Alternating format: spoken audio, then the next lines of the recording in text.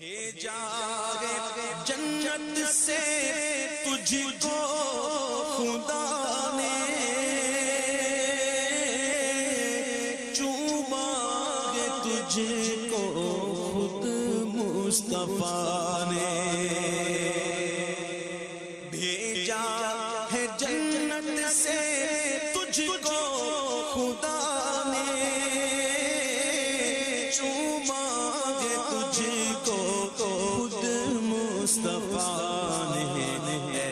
ऐ हजरे असवद तेरा मुकद्दर अल्लाह अकबर अल्लाह अकबर ऐ हजरे असवद तेरा मुकद्दर अल्लाह अकबर अल्लाह अकबर आउज़बिल्लिमिनशैतरजीम बसमीम उस मौला के नाम से इब्तदा, उस मौला के नाम से इब्तदा, जिसके नामों की कोई इंतहा ही नहीं है, बलगल उला भी कमाल ही कशफ़त दुजा भी जमाल ही हसनत जमी खसाल ही सल्लु अलैहि व आलिहि, सल्लल्लाहु वसल्लम। मोहतशम मोहतरम नाजरीन, अस्सलाम वालेकुम व रहमतुल्लाहि मुझे जन्नत से उतारा गया, मेरी रोशनी को छुपाया गया।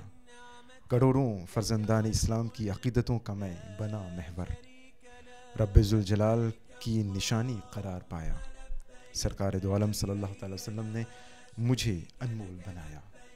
मैं हूँ ज़माने का दुलारा पत्थर, जन्नत का निराला पत्थर। मैं हूँ हजर असवद। नाजरन कराम, हजर असवद की हकीकत नाम से मंसूब अंजुमन प्रोग्राम में हम आपका दिल के अता गहराइयों से खैर मकदम करते हैं। और इस अहम मौजू पर, इस अहम टॉपिक पर हमारे साथ गुफ्तु के लिए कुरान हदीस की रोशनी में बात करने के लिए दुनिया इस्लाम के एक अजीम शख्सियत मुबलग इस्लाम अहल सुन्नत व जमात के जाबाज सिपाही हज़रत सैयद मुजफ़र हुसैन शाह कादरी दामद बरकतमाल यहाँ हमारे साथ तशरीफ़ रखते हैं ये हमारे लिए और आपके लिए भी खुश नसीबी खुश बख्ती की बात है हज़रत क़िबला अस्सलाम वालेकुम वालेकुम सलाम रहमतुल्लाहि व बरकातुहू सलाम मिजाज कैसा है जी अल्हम्दुलिल्लाह हज़रत क़िबला अमूमन ये इस चैनल के साथ आपका दूसरा प्रोग्राम है। जी बिल्कुल। सबसे पहले तो चैनल की जानिब से आपका बहुत बहुत शुक्रिया। बहुत शुक्रिया मशकूर वक्त के लिए जो मौशस आते हैं हमें पता है आपकी मसरूफियात होती हैं मगर फिर भी आपने थोड़ा वक्त निकाला हमारे लिए। बस अल्लाह तबारक व ताली से शर्फ क़बूलत आमीन। मैं भी बहुत मशहूर हूँ आपका कि आपके चैनल का बेहद मशहूर हूँ कि आप हजरात ने शफ़क़त फरमाई। आमीन। और इबलाग व तबलीग के सिलसिले में आपने मेरा इंतखब किया। तो मैं दुआ गो हूँ आपके चैनल के लिए भी और आपके आमीन आमीन। हज़रत क़िबला आज हमारा मौजू है हजर असवद की हकीकत और जैसा कि मालूम है कि आजकल अ, हज का मौसम भी है। हज का सिलसिला शुरू हो गया है। यकीनन दौरान प्रोग्राम हम ये देखने की कोशिश करेंगे हजर असवद का मरतबा की अजमत क्या है। हजर असवद पत्थर ब्लैक स्टोन काला पत्थर मगर एक पत्थर की इतनी अहमियत इतनी अजमत इतना इतना बड़ा मरतबा हज़रत क्यों? बसमीम रबी सदरी वसरली अमरी कौली। बहुत खूबसूरत सवाल आपका था कि यानी जिनसे पत्थर होने के हवाले से उसका इकराम और इनाम इतना क्यों है? जी।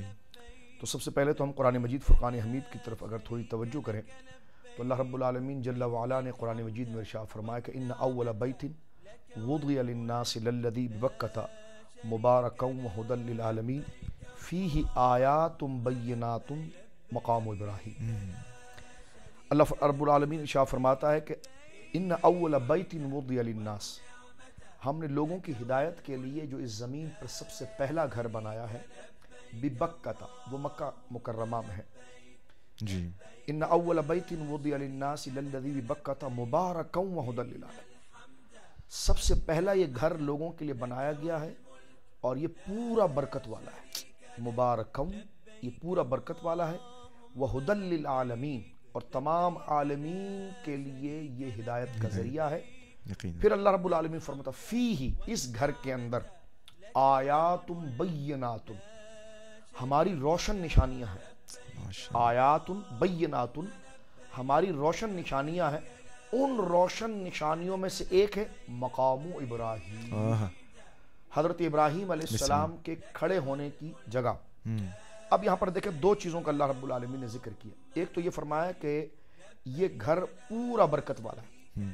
अब देखें यहाँ पर आप थोड़ी सी तवज्जो करें तो यहाँ पर मुबारकम व हुदल यानी ये बरकत वाला भी है जी। और इससे हिदायत और गाइडेंस भी मिलती है।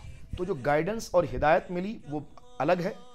तो जहाँ से गाइडेंस और हिदायत मिल रही है वो खुद अपने हाल में बरकत वाला हो गया यानी वहाँ से कुरान मिला दीन मिला लेकिन वो खुद घर उसका पत्थर उसका गिलाफ उसका सहन अल्लाह रब्बुल ने कहा ये बरकत वाला है। तो मुबारक वहुदल लिल आलम।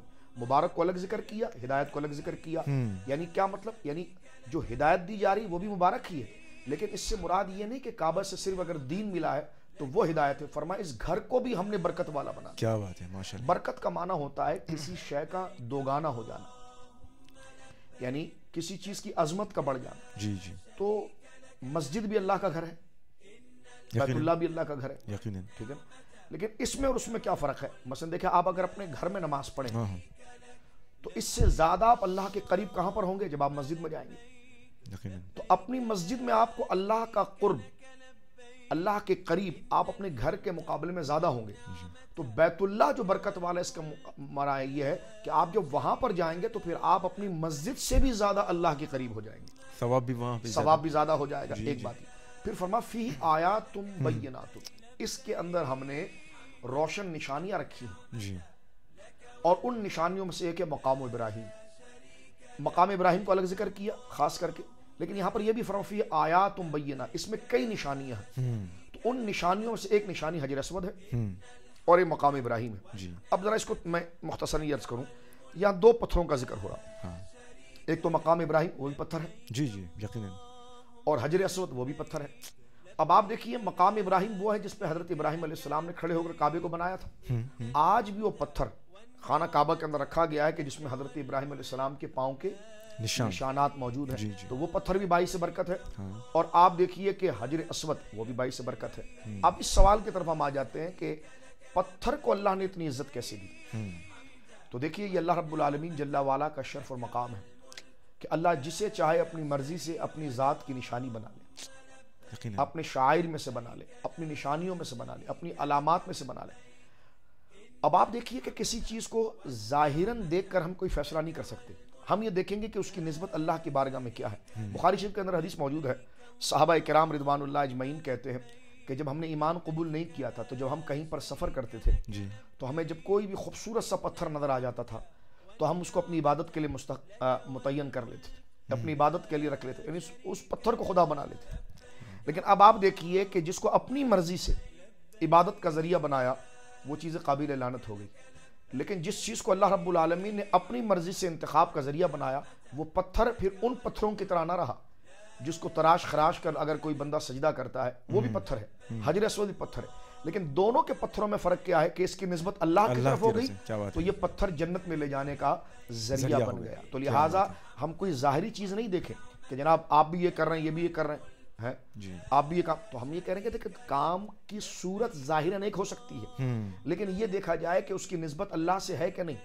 अब एक पत्थर जो अल्लाह के खिलाफ इस्तेमाल हो वो भी पत्थर है। उसकी कोई हैसियत नहीं। लोग अगर उसको पूजें हाँ। और एक वो पत्थर है कि जिसको अल्लाह से नस्बत हो गई है तो अब वो पत्थर जन्नत में ले जाने का ज़रिया बन गया है। क्या बात है। हजर असवद की बात हो रही है। हज़रत ज़रा इसका पस मंज़र मुख्तसरन बताएँगे। हजर असवद कहाँ से आया और किस तरह ये नस्ब हुआ काबा शरीफ में? देखिए हजर असवद जो उतारा गया है ये आसमान से उतारा गया अहदीस शरीफ में आता है। जब इसको उतारा गया तो ये इंतहाई नूर वाला था। सफ़ेद दूध से ज़्यादा ये सफ़ेद था। अल्लाह और इसकी रोशनी ऐसी थी कि जब इसको उतारा गया तो जहाँ तक इसकी रोशनी गई इसकी लाइट गई हाँ। तो वहाँ तक का इलाका हदूद हरम करार पाया। अल्लाह तारीख मक्का की तमाम किताबों के अंदर ये मौजूद है कि जब आप अभी आप देखिए जब खाना काबा जाते हैं हम्म, तो आप मक्का शरीफ में इंटर होने के साथ एक बाकायदा एक बॉर्डर आ जाता है। जी। उसको हदूद हरम कहते हैं। जी जी उस हदूद हरम के अंदर किसी भी पत्ते को तोड़ना किसी के साथ झगड़ा करना किसी के साथ लड़ाई करना उस जगह की रौनक को ख़राब करना ये हराम है। हदूद हरम से मुराद ये पूरा खत्ता हरमत वाला है। यहाँ पर एक लॉजिक थी कि खाना काबा तो यहाँ मौजूद है लेकिन ये चार पाँच किलोमीटर का सराउंडिंग का इलाका उसको हरम क्यों करार दिया गया है? तो उसकी लॉजिक ये थी कि जब खाना काबा में हजर असवद को लाया गया तो इसकी रोशनी जब जिबरील लेकर आया तो इसकी रोशनी किबला जहाँ तक पहुँची हम्म, तो वो इलाका जो है वो हजर असवद करार पाया और उसको खाना काबा के अंदर यहाँ पर नस्ब किया गया। माशाल्लाह। हज़रत क़िबला कहा जाता है कि जब इस पत्थर को जन्नत से उतारा गया जैसे कि आप बता रहे हैं कि उसकी रोशनी जो थी जो है उसकी रोशनी को छुपाया गया है? कि अगर अगर उसकी रोशनी को छुपाया नहीं जाता अल्लाह ताला उसकी रोशनी को नहीं छुपाता तो मशरक से मगरिब मगरिब उसकी रोशनी फैल जाती। फैल जाती बिल्कुल। और यकीनन मैं समझता हूँ कि इंसान जो है वो उसकी रोशनी को नहीं देख सकता था। हाँ तो अब पता ये चला कि हमें हज़रत मूसा का वो किस्सा याद आता है जब वो अल्लाह ताला की अ, को देखना चाहते थे। इस पर ज़रा रोशनी डालें।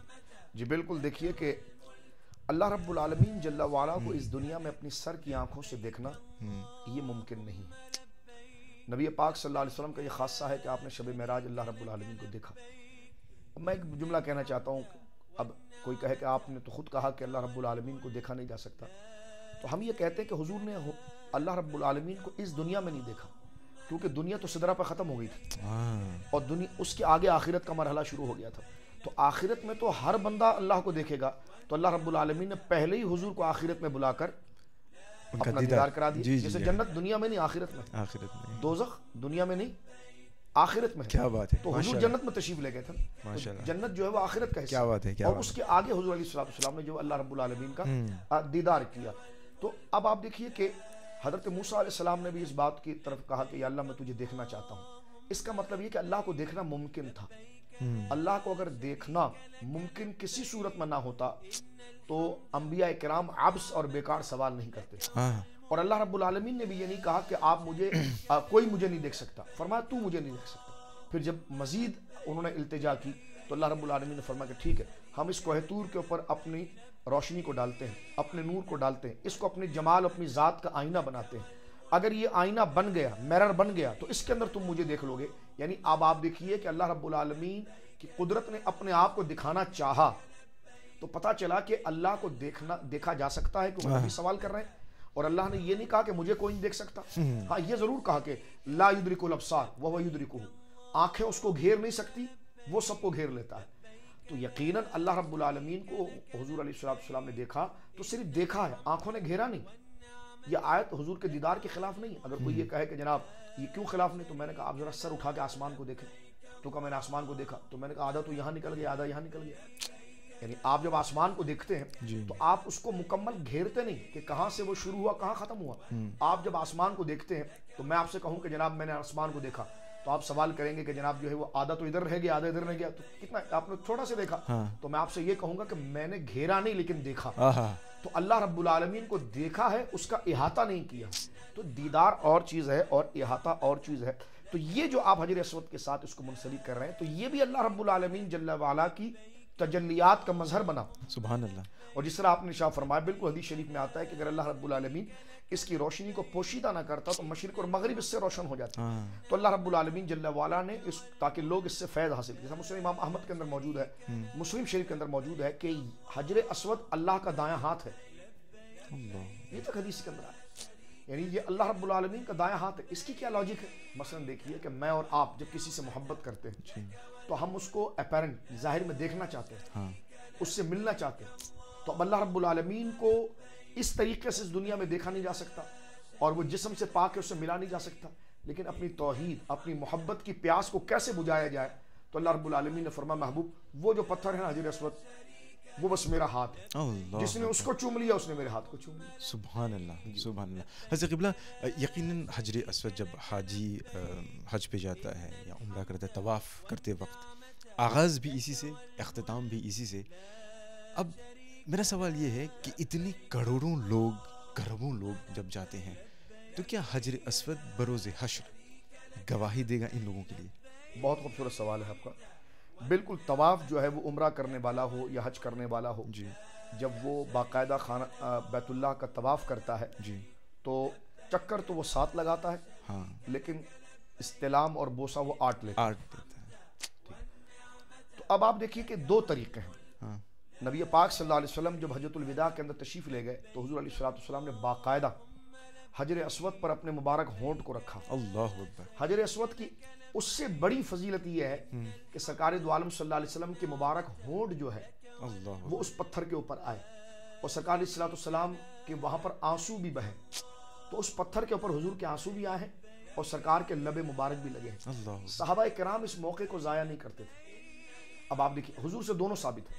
एक ये भी साबित है कि सरकार इस्लाम ने बोसा भी लिया और जब हुजूर ने ऊँटनी पर तवाफ किया था तो आपके हाथ में जो स्टिक आपका आसा मुबारक था आपने हजर असवद की बिल्कुल सीध में उसको किया और यानी बिल्कुल उसके सामने लाकर हुजूर ने हजर असवद को यानी उस, उस आसे को छुआ इसको कहते हैं इस्तेलाम। इस्तेलाम। तो बरह रास्त तकबील है बरह रास्त चूमना है एक ये भी है और दूर से अपने हाथों का इशारा करना या आपके हाथ में स्टिक है। तो उसका इशारा करके उसकी सीध में लेकर आना तो ये इस्तेलाम है। हज़रत अब्दुल्ला इबन उमर हज़रत सकार फारूक आज़म रदी अल्लाह के शहजादे उनके बारे में सियासता के अंदर आता है कि वो हजर असवद को चूमने में इस कदर खूगत इस कदर जल्दी और इस कदर बेचैनी दिखाते थे यहाँ तक कि एक दफ़ा बहुत बड़ा रश था लेकिन फिर भी आप उसमें गए और आपने फरमा मैं उस जगह को कैसे नहीं चूमूं? जिस जगह को रसूलुल्लाह ने चूमा। यहाँ तक कि भीड़ के अंदर किसी का हाथ उनकी नाक पर लग गया। उनकी नक्सीर फट गई। यानी खून उनके कपड़े पर आया। लेकिन फिर भी उन्होंने हजर असवद को नहीं चूमा। यानी हुजूर के आसार से रगबत इतनी है कि जिस चीज़ को हुजूर से नस्बत हो जाए चाहे वो पत्थर क्यों ना हो उसको चूमा जाता। अब आप देखिए ये जो आपका सवाल है तो हज़रत फारूक आज़म रदी अल्लाह ने जब हजर असवद को चूमा था। तो चूमते वक्त आपने ये जुमला कहा था कि ए हजर असवद तू ना को नफा देता है और ना तू कोई जर दे सकता है मगर मैं तुझे इसलिए चूम रहा हूँ कि तुझे रसूलुल्लाह ने चूमा। क्या। एक तमाम मुहद्दिसीन ने यहाँ पर लिखा है कि फारूक आज़म के कहने का मकसद ये है कि तू ना कोई नफ़ा दे सकता नुकसान देता है यानी इस्तकलालन। ज़ाती तौर पर अल्लाह ने तुझे नफ़ा नुकसान का मालिक नहीं बनाया। लेकिन तुझे नफ़ा नुकसान का ज़रिया ज़रूर बना दिया। क्या बात है क्या बात है। अब आप देखें प्यास कौन बुझाता है? जब हम थर्स्टी हम प्यासे हो जाते हैं तो पानी पानी। पीकर प्यास कौन बुझाता? अल्लाह। हमारी प्यास कौन बुझाता? अल्लाह। अल्लाह। लेकिन पानी उसकी उस तासीर का सबब बन जाता है। तो हम जब पानी पीते हैं तो हम पानी को कहते हैं पानी तुझ में कोई नफा नहीं लेकिन तुझे अल्लाह ने नफे का ज़रिया बना दिया। आहा आहा। तो असल तो नफा अल्लाह की जात अता फरमाती है लेकिन वो डिलीवर कहाँ से होगा? उसका कॉज क्या होगा? उसका सबब क्या होगा? तो जिस तरह नफे का सबब दवाई है मेडिसिन ये अल्लाह की तरफ़ से शिफा। शिफा कौन दे रहा है? अल्लाह। अल्लाह। लेकिन दवाई क्या है? कॉज हम्म। भूख कौन खत्म कर रहा है? अल्लाह। फ़ूड क्या है? कॉज हम्म। बारिश कौन दे रहा है? अल्लाह। क्लाउड क्या है? कॉज इसी तरह आप देखिए कि प्यास कौन खत्म कर रहा है? अल्लाह। अल्लाह। पानी क्या है? सबब- सबब तो इसी तरह जो है कि वो बख्श रहा है अल्लाह इनाम अल्लाह दे रहा है और नफा अल्लाह दे रहा है उसका कॉज जो है वो पत्थर बन गया। एक हदीस में ये भी आता है शरा इमाम मालिक में मुस्लिम अहमद में भी है कि हज़रत अली मुर्तज़ा रदी अल्लाह तआला ने हज़रत फारूक आज़म के कंधे पर हाथ रखा। फरमाया उमर ये बात सुनो मैंने हुजूर से खुद सुना है कि क़यामत के दिन ये पत्थर इसकी दो आँखें होंगी अल्लाह अकबर। इसके दो होंठ होंगे। अल्लाह अकबर। जिस जिसने इसको चूमा होगा जिस जिसने इसका इस्तेलाम किया होगा ये कयामत के दिन उन सब की गवाही अल्लाह की बारगाह में देगा यानी अल्लाह की बारगाह में उनकी शफाअत करेगा। तो मैं आपसे पूछना चाहता हूँ मुझे बताइए कि जिस पत्थर के साथ सिर्फ़ हमारा नबी पाक की निस्बत से ताल्लुक है वो पत्थर कयामत के दिन हमारी शफात का ज़रिया बनेगा। तो जिस नबी की नस्बत से उसको ये मकाम मिला है वो रसूल करीम सल्लल्लाहु अलैहि वसल्लम की शफात अल्लाह के बारगाह में कितनी आम होगी? सुबह अल्लाह सुबहान अल्लाह। हज़रत किबला सवाल तो ये कि बाद दिगरे जहन में आ रहे हैं मगर मुक़ैद हैं वक्त को लेकर। बहरकैफ बोसे देने पर बोसा देने पर आते हैं। तो यहाँ से एक बात जो जहन में आ रही है अभी नबी करीम सल्लल्लाहु अलैहि वसल्लम ने पत्थर को बोसा दिया। अगर इस नुक्ते को हम लेते हैं तो बोसा देना आज उलमाए कराम के हाथों को चूमना क्या इस इससे कोई लिंक पैदा होता है? ये उसकी असल है किबला बहुत अच्छा आपने सवाल करा बोसा देना या किस करना ओलमा और मशाइख के हाथों को चूमना। जी। ठीक है ना? इसकी शरी दलील यही हदीस है। अल्लाह। इसकी शरी दलील यही हदीस है। हज़रत अल्लामा आइनी रहमहुल्लाह ने उम्दतुल कारी शरा बुखारी के अंदर इसी हदीस पाक के तहत लिखा कि ये हाथ अल्लाह रब्बुल आलमीन ये पत्थर अल्लाह रब्बुल आलमीन का हाथ करार पाया। जिसने इसको चूमा उसने अल्लाह को चूमा। तो फरमा पत्थर से ज़्यादा अजमत तो उलमा की है। पत्थर से ज़्यादा अजमत तो सालिहीन की है। तो फरमा इस वजह से ये नस्बत वहाँ से इसलिए आप हदीस पाक के अंदर आते हैं। तो आपको ये चीज़ें कसरत के साथ मिलती है कि साहबा कराम रिदवान अजमाइन हजूर सलाम के हाथ को चूमते थे हजूर के पाँव को चूमते थे। यही आप बुखारी शरीफ किताबुल ईमान को अगर आप देखिए वफद अब्दुल कबैस जब हजूर सलाम के पास आया तो उन्होंने हजूर के हाथ को भी चूमे हजूर के पाँव को भी चूमा। गजवा हुनैन के अंदर अगर आप देखें तो सरकार सलाम के चचा हारिस के बेटे हाँ। जनाब सुफियान बिन हारिस ने जब अपना ईमान ज़ाहिर किया तो उसके बाद उन्होंने हजूर सलाम के पाँव को चूमा। सरकार ने फरमाया कि जो जन्नती को देखना चाहता है उसको देख ले। इमाम बुखारी रहमत ने बुखारी के अलावा एक हदीस की किताब लिखी है अदबुल मुफरत जिसमें मुफरत इंडिविजुअल आदाब और नेक जो है कि वो आदात और अखलाक को उन्होंने वहाँ पर एटीट्यूड और नेक जो है कि वो चीज़ों को ज़िक्र किया। उसमें से एक ज़िक्र किया है कि तकबील यद वर्ज यानी हाथ और पाँव को चूमना उसके तहत आपने एक हदीस नकल की है कि हज़रत अली मुर्तज़ा रदी अल्लाह तन जब अपने चचा ये मम बुखारी अपनी सनत से लाते हैं हज़रत अली रदी अल्लाह तन जब अपने चचा हज़रत अब्बास के पास जाते तो उनके हाथ को भी चूमते थे उनके पाँव को भी चूमते थे।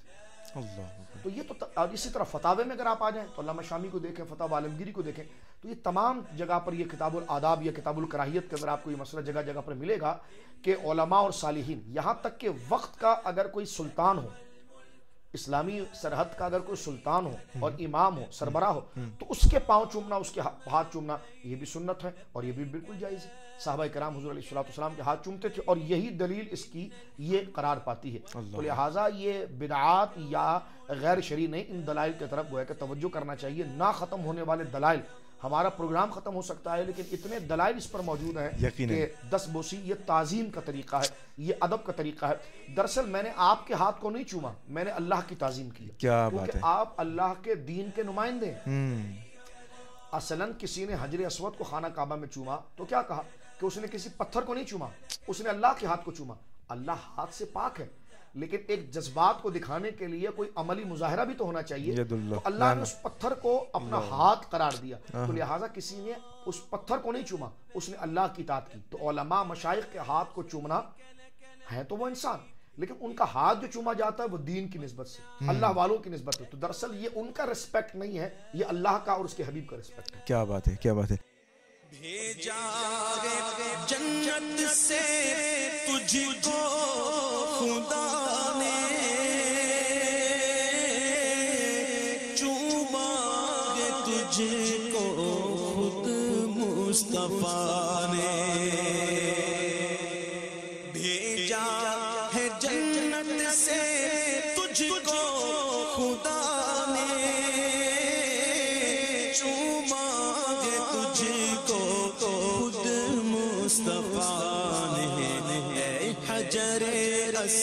असवद तेरा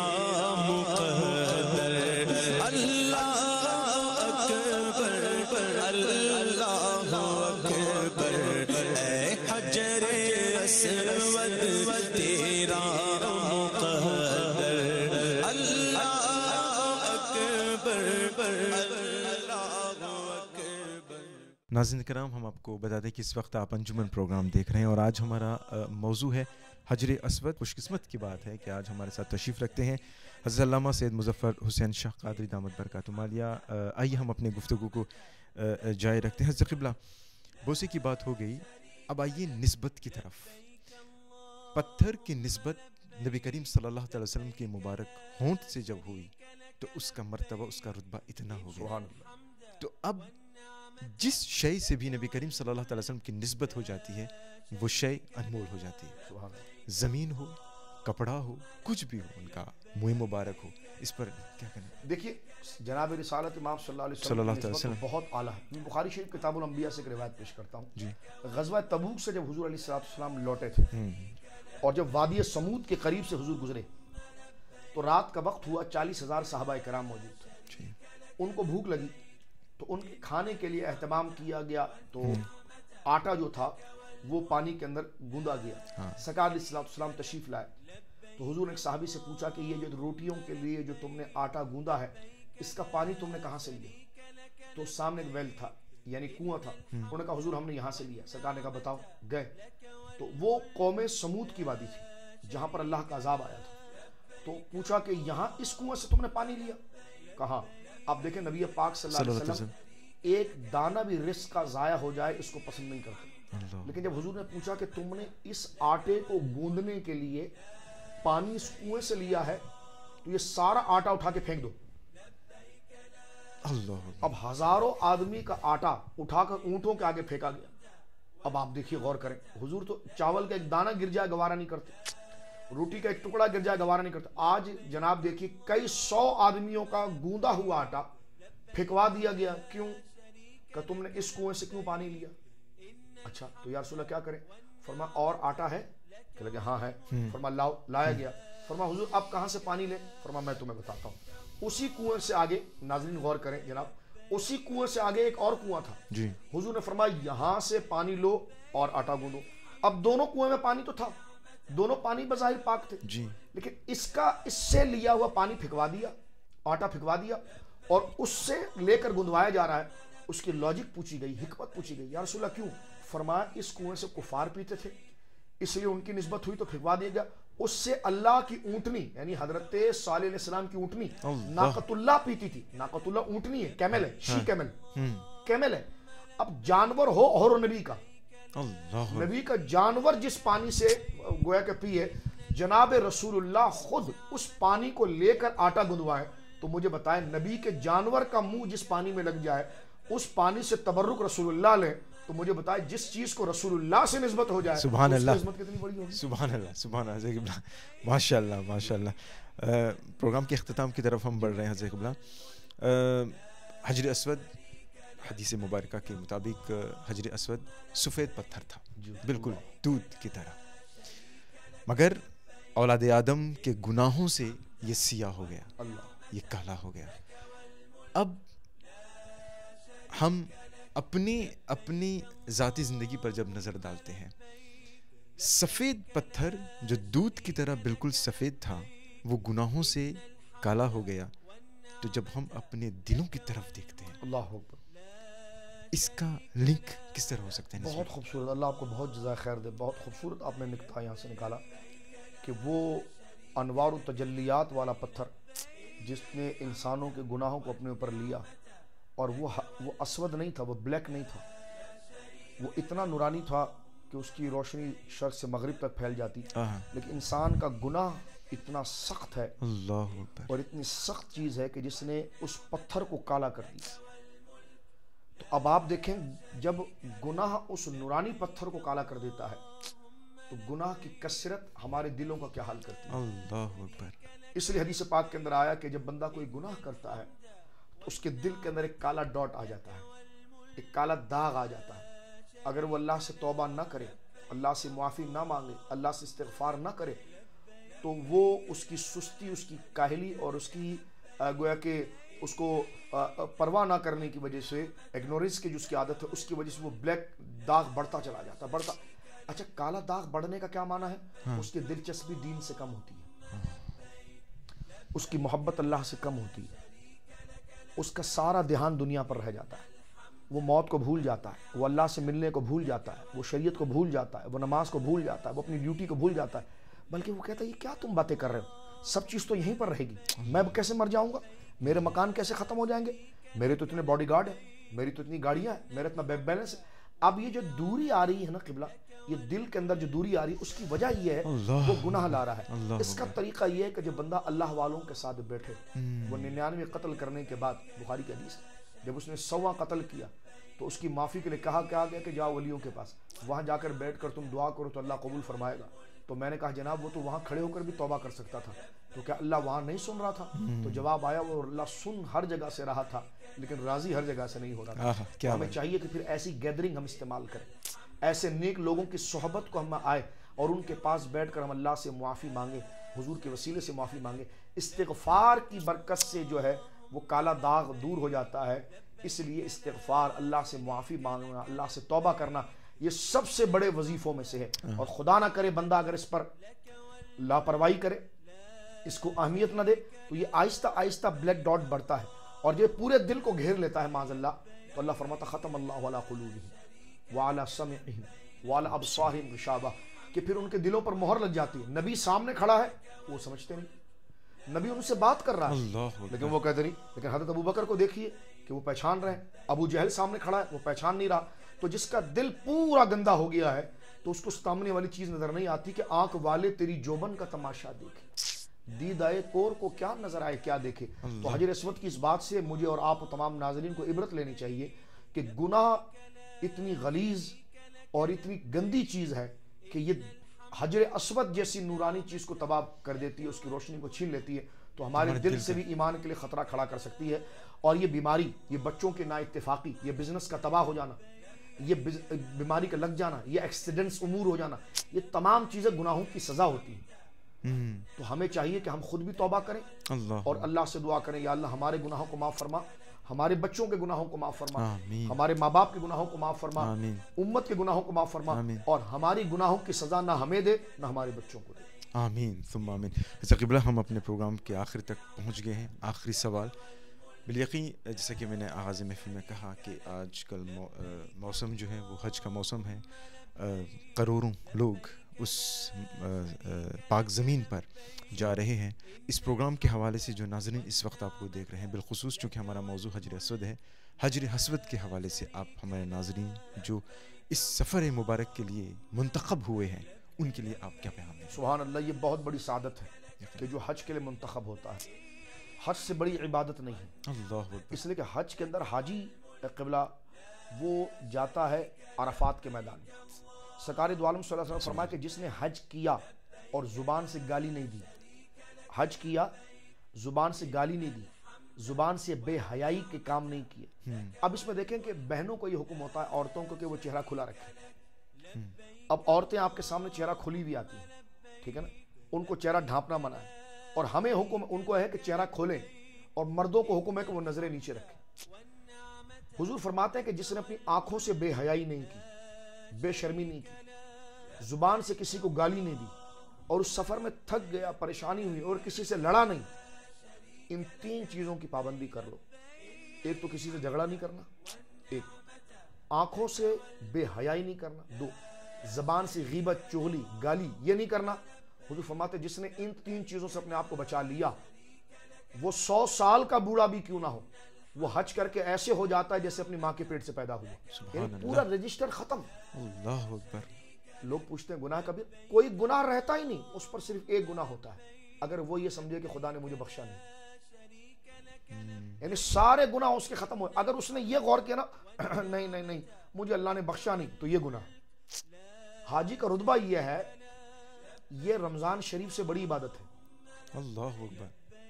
अरफात के दिन जब हाजी हज के मैदान में पहुँचता है तो ये आखिरी वक्त होता है ना मगरिब का जिसमें सूरज गुरूब हो रहा होता है। इस वक्त अल्लाह रब्बुल आलमीन जल्ला वाला अपने शायन शान उसकी रहमत पहले आसमान को घेरती है और फरिश्तों से पूछती है कि क्यों आए हैं? ये तो बड़े बड़े बिस्तरों पर रहने वाले थे बड़े बड़े मकानात में रहने वाले। आज तो इनके कपड़े भी गंदे हैं, इनके सरों पर मट्टी है।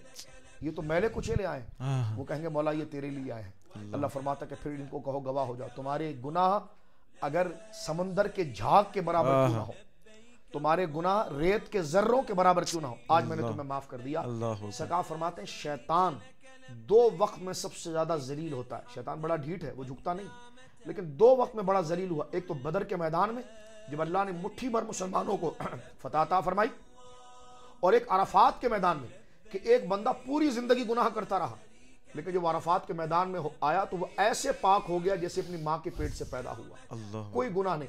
इसलिए कहा गया कि हज की कसरत जो है वो रिस्क को बढ़ाती है। हज उम्र किया करो, इससे तुम्हारा कारोबार बढ़ेगा। क्यों?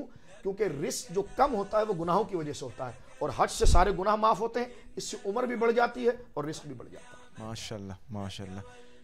हज़रत क़िबला दिल तो चाहता है कि गुफ्तु होती रही होती रही अलहमदिल्ला बस अल्लाह ताला शर्फ खुबल फरमाए हज़र कबला अंजुमन टीम की पूरी टीम की जानब से आपका दिल के अतः कहने से बहुत बहुत शुक्रिया बस दिल से यही दुआ है कि अल्लाह रब्ज़त अपने हबीब सल्लल्लाहु अलैहि वसल्लम के सदक़े में आपकी उम्र में बरकत अता फरमाए आपके इल्म में बरकत अता अल्लाह आप लोगों को सलामत रखे आपकी। अंजुमन को आपके पूरे चैनल को आमीन आपके प्रोड्यूसर आपके डायरेक्टर आपके मालिकान आपको और जो हुज्जाज जा रहे हैं उन तमाम के सदक़े अल्लाह रब्बुल आलमीन आप तमाम पर और मुझ फ़कीर पर भी ख़ास फजल फरमाए। आमीन।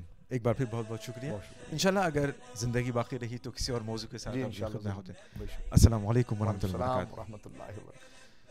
नाजीन अंजुमन प्रोग्राम का मुकर वक्त यहाँ पर अख्ताम पजीर हुआ। आज हमारे खुश नसीबी रफ़ीक के आज हमारे साथ तशरीफ़ रखे हज़रत क़िबला हज़रत अल्लामा मौलाना सैयद मुजफ़र हुसैन शाह कादरी दामद बरकत मालिया। यहाँ पे ये प्रोग्राम अख्ताम पजीर हो रहा है। बस एक बार फिर उन तमाम हुज्जाज कराम को के लिए दुआ है कि अल्लाह तबारक व ताली उन तमाम लोगों के हज को मंजूर मकबूल फरमाए। कदम कदम पर उनको आसानियाँ फरमाए और आला हज़रत के शेर से मैं इस प्रोग्राम को ख़त्म करना चाहूँगा कि हरम की ज़मी और कदम रख के चलना अरे सर का मौका है ओह जाने वाले। आप तमाम लोगों को एक बार फिर हज बहुत बहुत मुबारक हो। दुआ में याद करें, अगली मुलाकात तक अनवर को इजाज़त, रहे चमन तो फूल खिलेंगे, रही ज़िंदगी तो इन फिर मिलेंगे। अस्सलाम वालेकुम वरहमतुल्लाहि वबरकातुहू भेजा रे जन्नत से तुझको खुदा ने चूमा रे तुझको खुद मुस्तफ़ा ने।